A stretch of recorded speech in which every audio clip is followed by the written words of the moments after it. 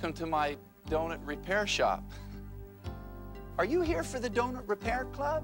Oh, well, you're just a little bit early. You see, I, I'm pretty busy here inventing a special surprise for all the members in time for the next meeting. What do you mean you are inventing? It was my idea. Oh. I'm sorry, Duncan. It was our idea. We were working on it together. Hmm, yeah. The handy dandy donut repair machine. Isn't it beautiful? it is if it works. Oh, it'll work. It has to work, because, well, you know how I feel about empty donuts. Yeah. They remind me of how sad life is when we're empty without Jesus. Oh, but I think we're ready to start right now. All right. First, I take an empty donut. Yeah. You know, the sad kind that still has a hole in it, and I put it here. and then I take a sack of flour and I put it here. and then I push this lever here.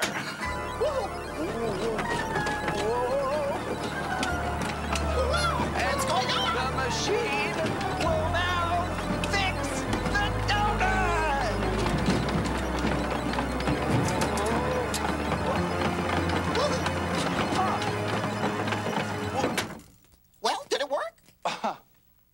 I'm not sure. No. What? The donut shrunk. Huh. And it still has a hole in it. Oh, you did something wrong. We did something wrong. Huh? Oh, I know. Maybe if I adjust the donut donutulator. Yeah. There we go. More. careful. It's still talking. And I turn this lever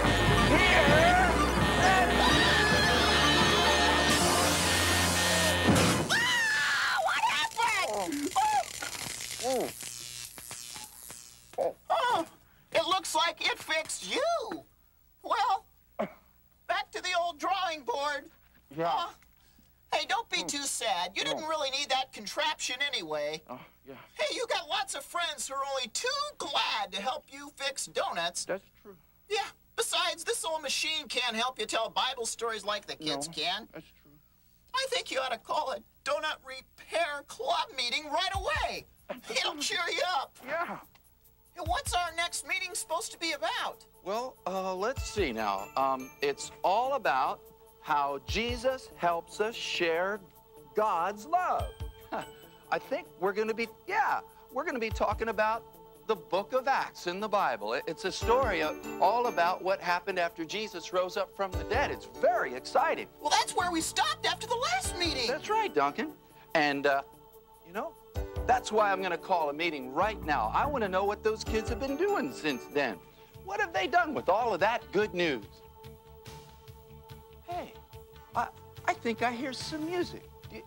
Do you, hear something? I hear singing. This sounds like it's coming from outside. I think you're right. Extra, extra, read all about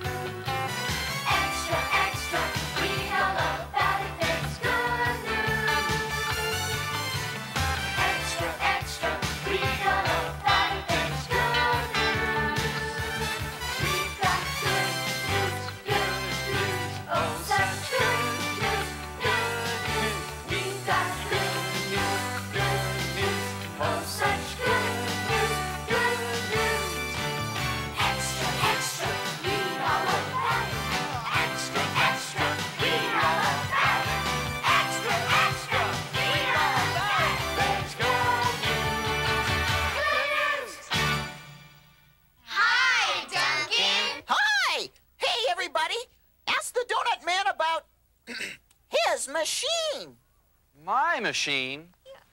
Our machine. oh, well. It still doesn't work.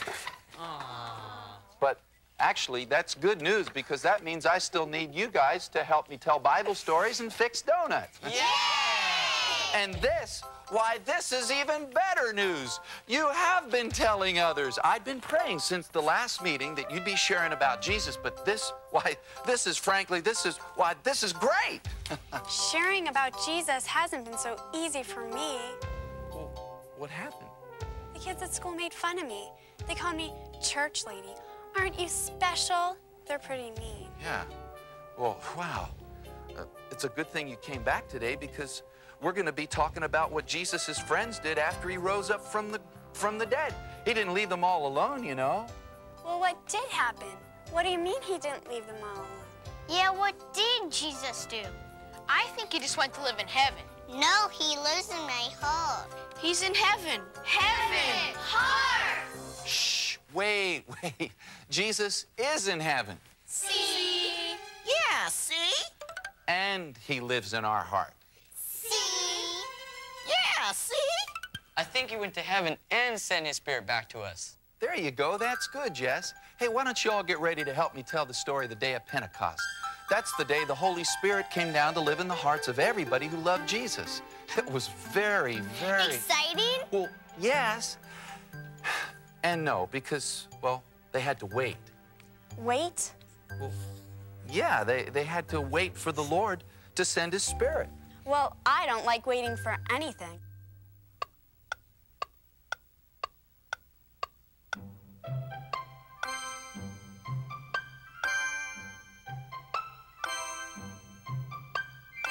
Had to wait for the Lord to send His Spirit.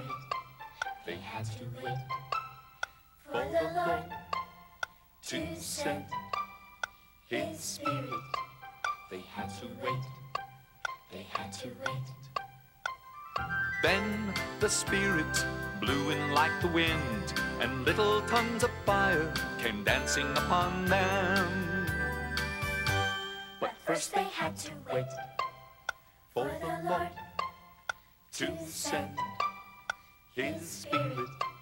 They had to wait for the Lord to send His Spirit. They had to wait.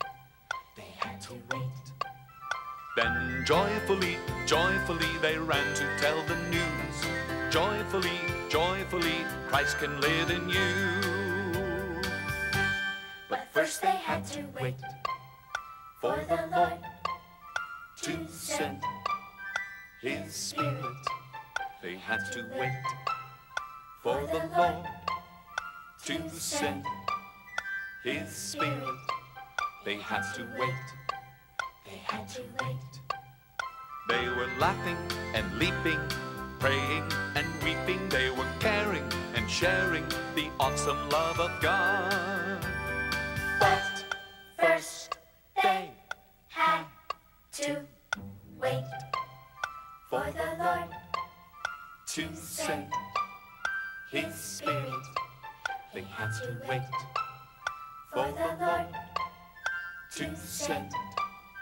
His Spirit.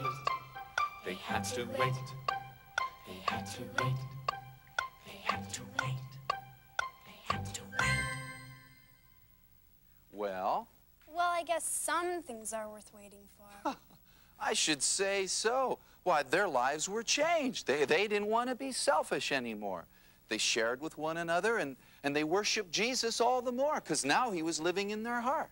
God's love fills us up and helps us share. Yeah. Does it make us holy? Get it? Holy? Horny. I'm sure they share their toys. I'm sure they shared whatever they had.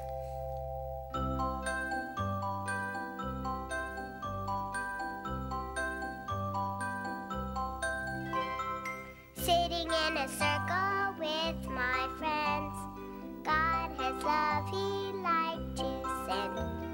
His love goes around and and. His love goes around and around. God loves me and I love you. Share with me and I share too. And his love goes around.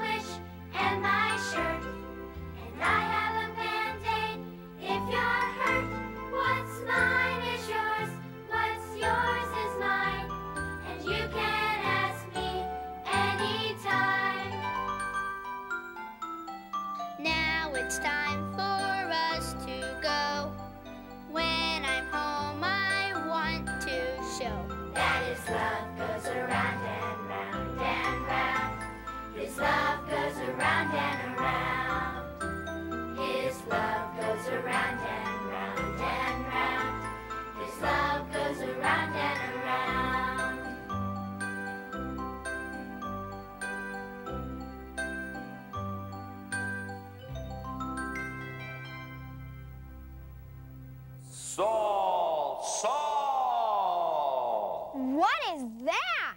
Come on, let's find out. Saul. What are you doing? Yeah, what are you doing? Uh, I was reading ahead to the next story in the book of Acts. It's very, very. Scary? Oh, no. It's exciting. I, I was trying to sound like Jesus might have sounded when he was talking to Saul on the road. You see, Saul was this guy who wasn't too happy with all these new Christians running around filled with love and with the Holy Spirit.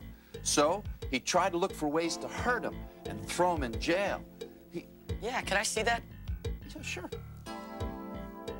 Saul was on his way to Damascus to arrest even more Christians when he was stopped in the road by a voice. As a heavenly light flashed all around him, Jesus spoke to him. Mm-hmm. Hey, let's do this story, want to? Yeah. Yeah. Hey, Dan, you be Saul, all right? Go ahead. Go ahead, Jeff. Here we go. Saul was blinded by a heavenly light and was taken to a house where he prayed and didn't eat for three days. Mm-hmm. That was until Jesus sent a man named Ananias to come pray with him. Right. I bet Ananias was scared because he knew what Saul had been doing to the Christians. I bet he No! Jesus told him to go. That's true. yeah, but I bet he was still afraid. I wouldn't want to be Ananias. No, I wouldn't. Who wants to be Ananias? No way. No. no. Well, I guess I'll have to be Ananias. you got the call. Here you go. All right, Ananias. All right, you got the job.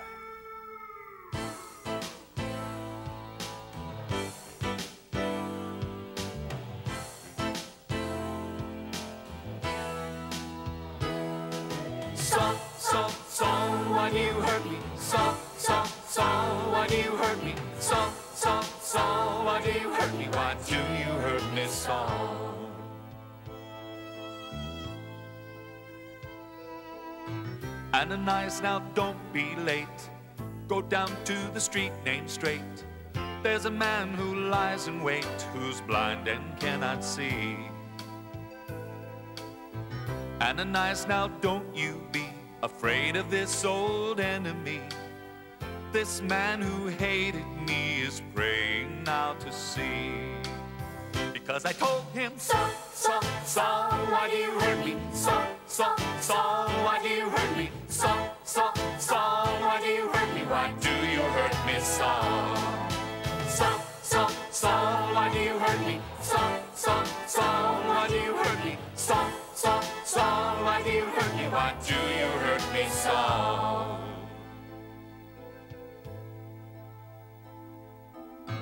Ananias go right away. He's not had food for many a day.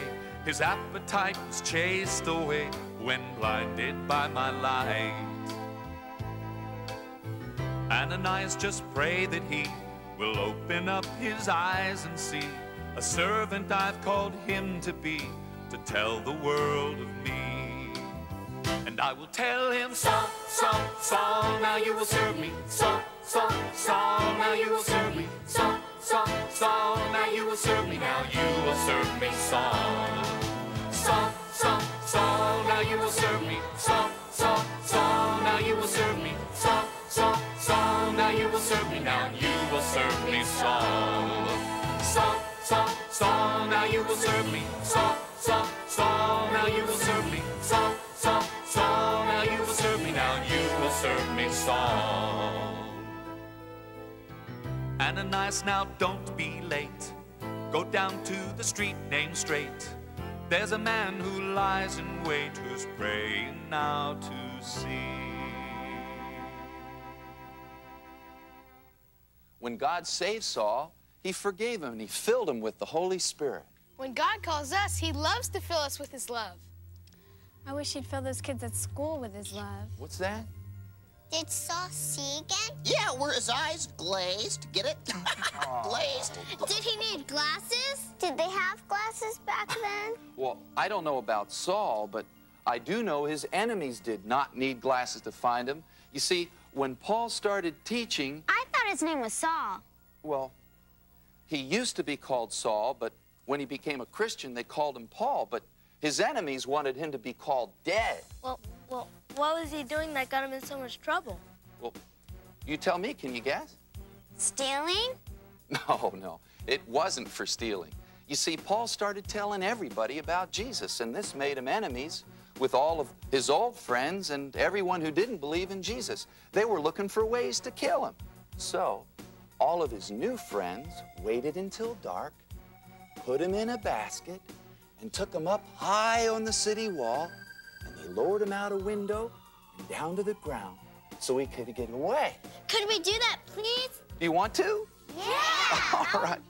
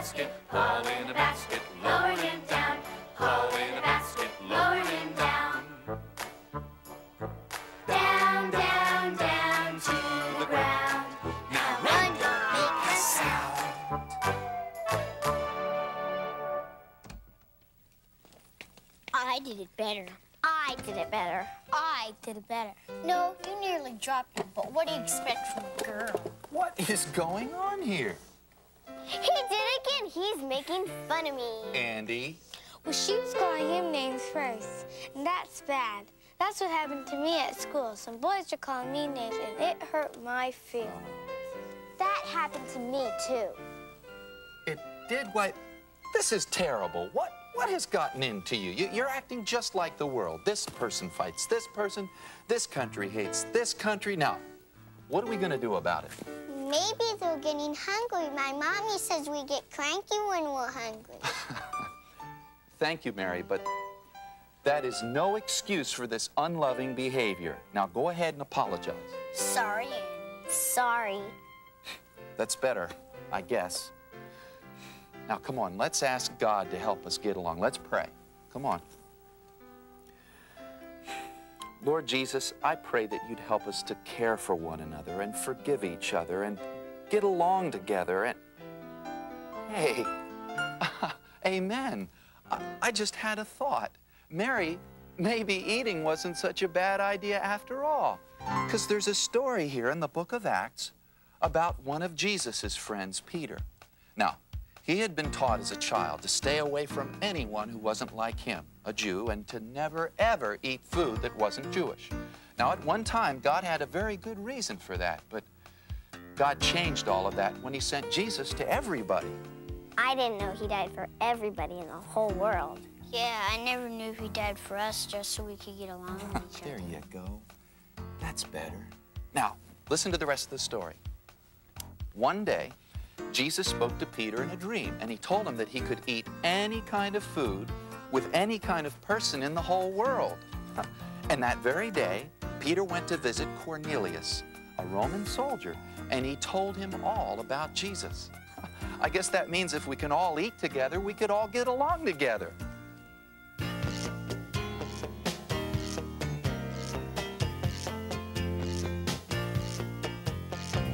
You're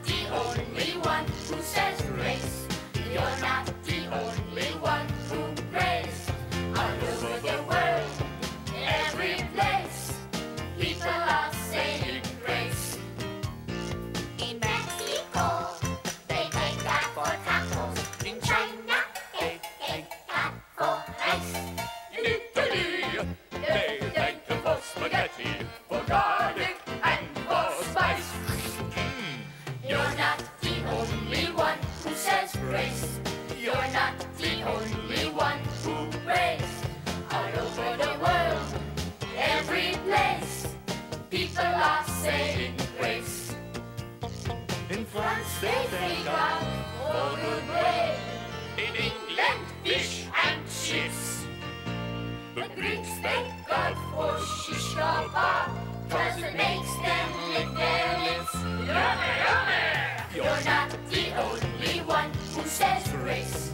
You're not the only one who prays. All over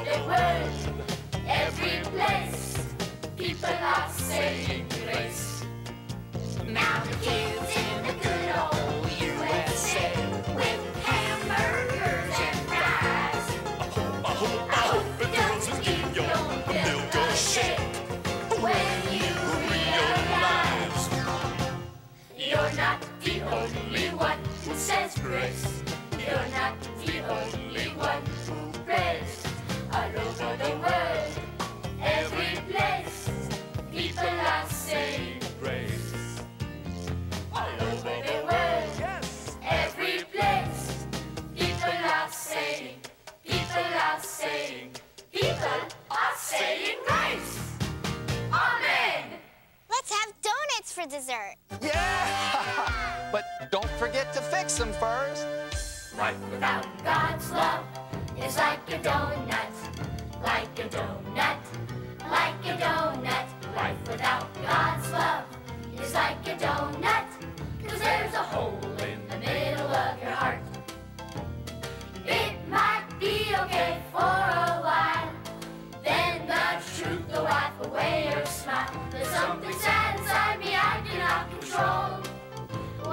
Think about a donut hole, life without God's love is like a donut, like a donut, like a donut. Life without God's love is like a donut, cause there's a hole in the middle of your heart.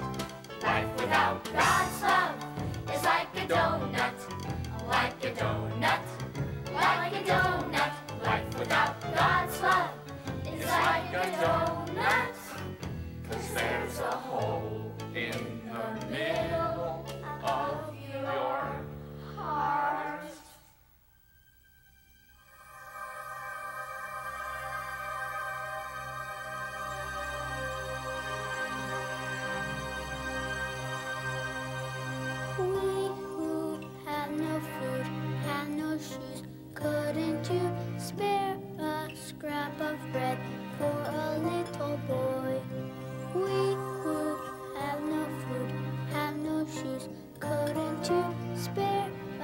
scrap of bread for a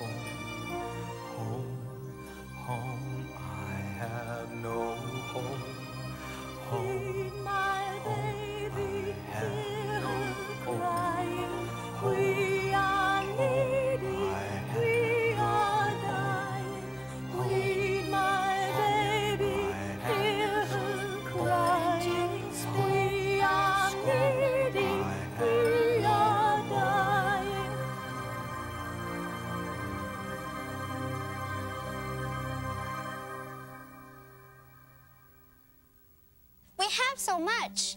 Can't we help?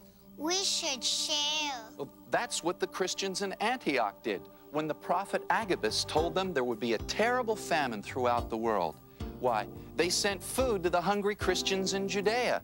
But they knew they weren't just hungry for food, but they were also hungry for the Word of God. So they sent the first missionaries in the name of Jesus. What's a missionary? A missionary is a person who tells others about Jesus. Well, if that's what a missionary does, that's what I want to do. I want to tell people about Jesus. Send me! I want to go. Me too. Me too. Well, somebody should do something. Well, then what we really need is someone to uh, clean the tables and bring some more food. Clean, bring food. Couldn't we just pray for them?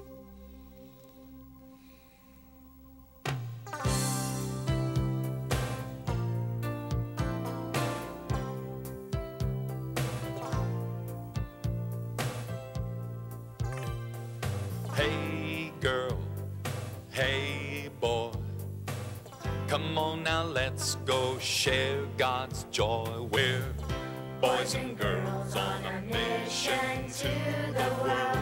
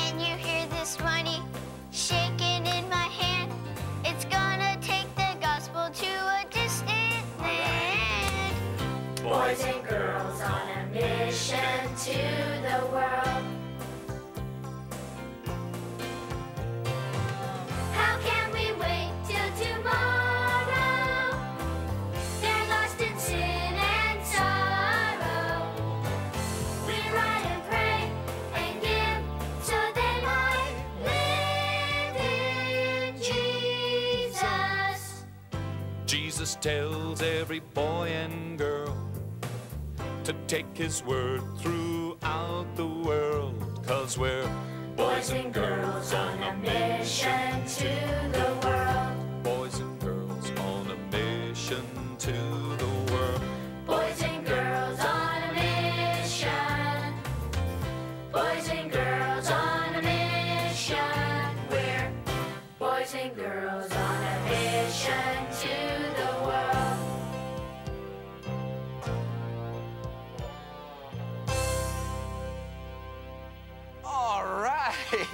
You looked great. You did a great job. Good for you. I'm tired. I'm thirsty. Well, look at me. I ruined my blouse and I cut my finger. At least you tried. Being a missionary is hard work. it's not only hard work, but it can be real dangerous, too. Anybody here want to help me tell the next story?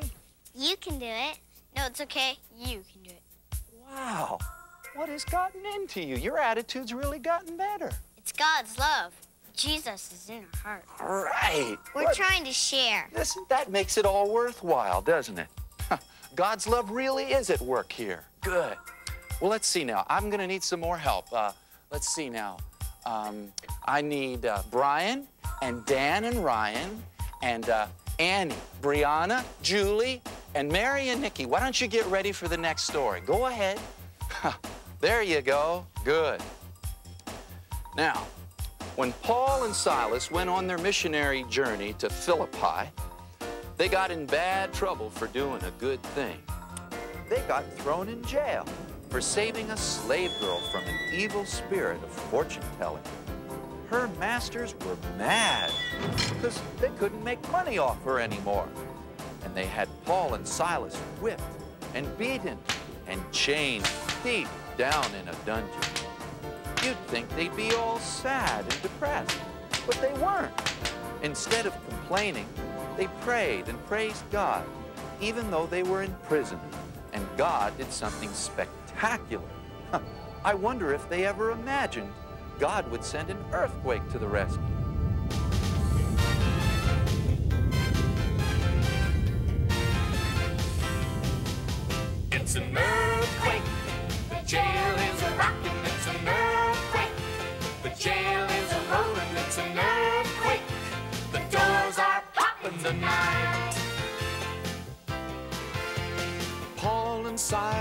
Were chained in jail.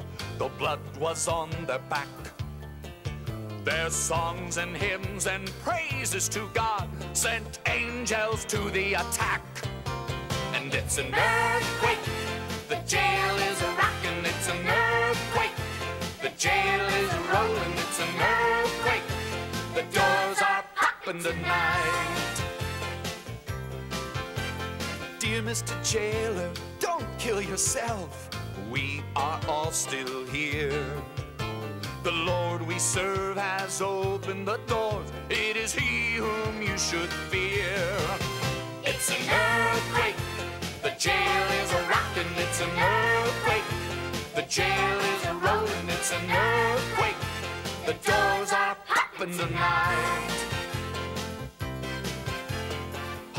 Silas said to the man as he knelt on bended knee, Believe in Jesus and you'll be saved, you and all your family. It's an earthquake. The jail is a rocking. It's an earthquake. The jail is a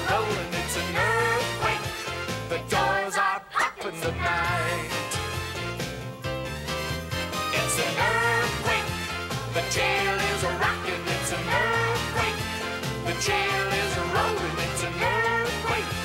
The doors are popping tonight.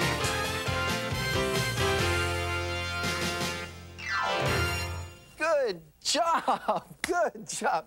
You guys were great. Now, what did you learn, huh? What'd you learn on that one? God gives courage. Amen. God helps us give thanks. He sure does. You did a good job. Hey, you know, that night God chose that a jail should be open, but there were other jails for Paul that did not open.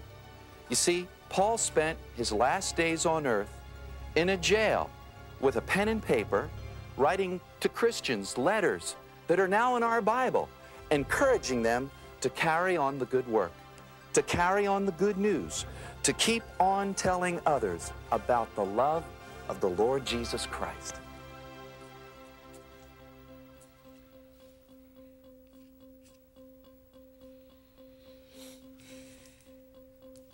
Though I am in chains for the gospel, the gospel is not in chains. Though soldiers guard me with their swords, they can't stand in God's way. The message of Jesus shall go out. Yes, the message of Jesus shall go out. If I live on in my body, I shall live in Jesus' name. If I die, now don't you cry, for heaven I shall gain. the message of Jesus shall go out. Yes, the message of Jesus shall go out. The message of Jesus shall go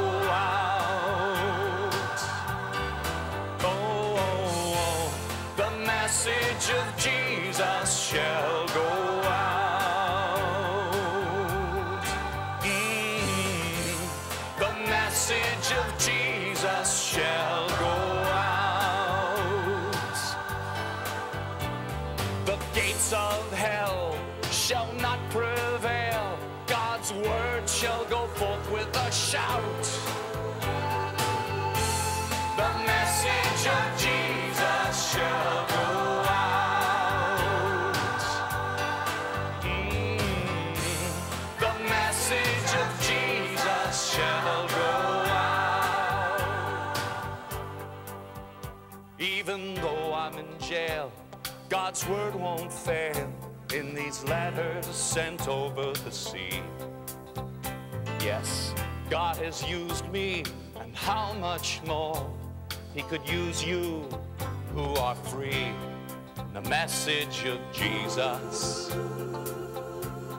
shall go out. Yes, the message of Jesus shall go out.